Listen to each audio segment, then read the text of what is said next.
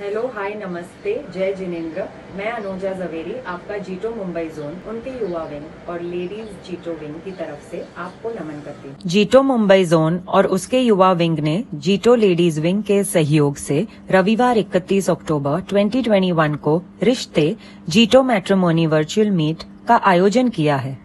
31 अक्टूबर को। आयु वर्ग के अनुसार ब्रेकआउट रूम के साथ वर्चुअल मीट होगी। आपको टीम जीटो मुंबई से इसलिए जुड़ना है क्योंकि इवेंट के कुछ ही दिनों बाद हर एक उम्मीदवार को एक ई डायरेक्टरी दी जाएगी।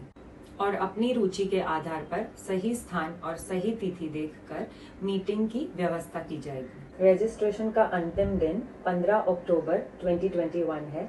यहाँ मुंबई अथवा एनआरआई रजिस्टर कर सकते हैं ग्रेजुएट्स अथवा पोस्ट ग्रेजुएट्स रजिस्टर कर सकते हैं।